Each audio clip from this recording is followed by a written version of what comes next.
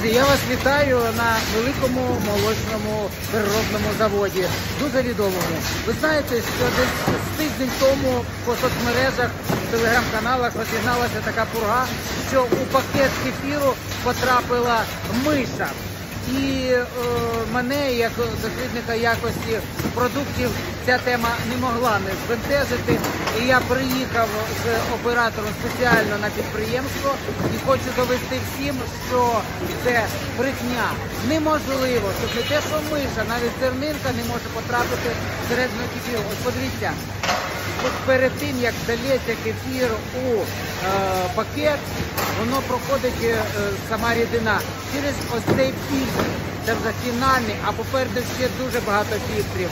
Саме формування пакетів відбувається в закритому просторі. Ось так.